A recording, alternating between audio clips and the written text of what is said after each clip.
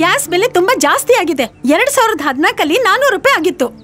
ಈಗ ಸಾವಿರದ ನೂರ ಆಯ್ತು ನನಗೆ ನನ್ ಮನೆ ತೂಗ್ಸಕ್ ಆಗ್ತಾ ಇಲ್ಲ. ನೀವೇ ಹೇಳಿ ಎಂತ ಮಾಡೋದು ಅಂತ. ತೊಂಬತ್ ಪರ್ಸೆಂಟ್ ಭರವಸೆನ ಈಡೇರಿಲ್ಲ. ಹೇಳಿ ಹೇಳಿ ಏನಾಯ್ತು? ಪೆಟ್ರೋಲ್ ಬೆಲೆ ನೂರ ಒಂದ್ ರೂಪಾಯಿ ಆಗಿದೆ. ಗಾಡಿ ತಳ್ಕೊಂಡು ಹೋಗೋದೇ ಉತ್ತಮ ಅನ್ಸುತ್ತೆ. ನೀರು ಸರಬರಾಜು ಬರೀ ಬಾಯಲ್ಲಿ ಮಾತ್ರ. ಸಾಲ ಮನ್ನಾ ಮಾಡ್ತೀವಿ. ಎಂ ಎಸ್ ಪಿ ಅಂತ ಹೇಳಿದ್ರಿ.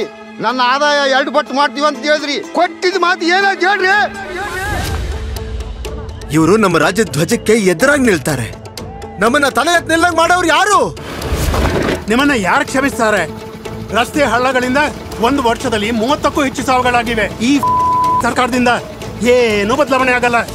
ಈ ಜನ ವಿರೋಧಿ ಸರ್ಕಾರ ಬೇಕಾ? ಬೇಡ. ಬೇಡ. ಬೇಡ. ಬೇಡ. ಬೇಡ. ಬೇಡ. ಬೇಡವೇ ಬೇಡ. ಈ ಜನವಿರೋಧಿ ಸರ್ಕಾರವನ್ನು ಹೊರಹಾಕಿ ಬದಲಾವಣೆಯ ಸಮಯ ಬಂದಿದೆ. ಕಾಂಗ್ರೆಸ್ ಬರಲಿದೆ ಪ್ರಗತಿ ತರಲಿದೆ.